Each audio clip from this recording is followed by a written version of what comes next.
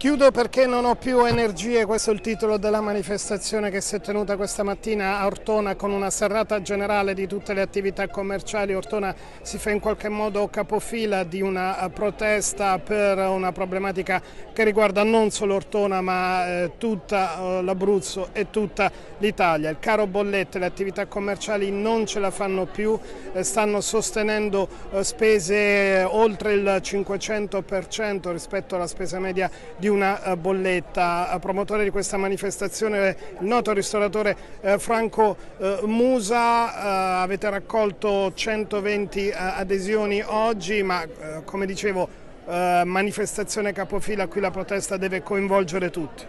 Certamente questa, la vera protesta è questa, cioè quello di suscitare negli altri un interesse su questo appunto tipo di manifestazione che deve far arrivare la voce di tanti dove deve arrivare, cioè nella politica per poter poi farsi carico di situazioni che noi proponiamo, non facciamo una protesta così, tanto per farla. Dopo 18 mesi di chiusura per la pandemia, ora anche questa problematica, molti di voi stanno rateizzando vecchie bollette ma intanto ne arrivano di nuove e eh, sempre più care.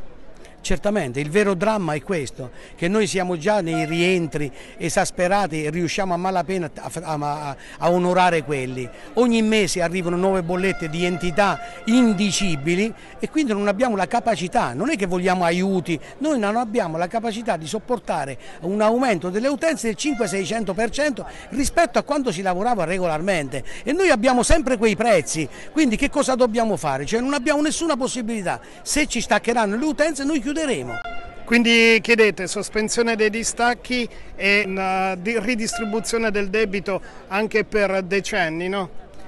Beh, certamente, eh, non credo di essere l'unico in Italia ad aver visto altre vicende con soldi spalmati per 40-50 anni. Noi vogliamo essere eh, ligi e vogliamo essere cittadini modelli, cioè vogliamo sopportarci il peso di questo momento critico nel modo più assoluto insieme ad altri, però dobbiamo avere la possibilità di farlo e quindi lo spalmare i debiti su diversi anni vuol dire anche lasciare ai nostri figli questo debito, però noi non facciamo i vigliacchi, ce la vogliamo assumere assumere questa responsabilità insieme a tutti ovviamente, a partire dalla politica, ad arrivare a tutti senza nessun problema,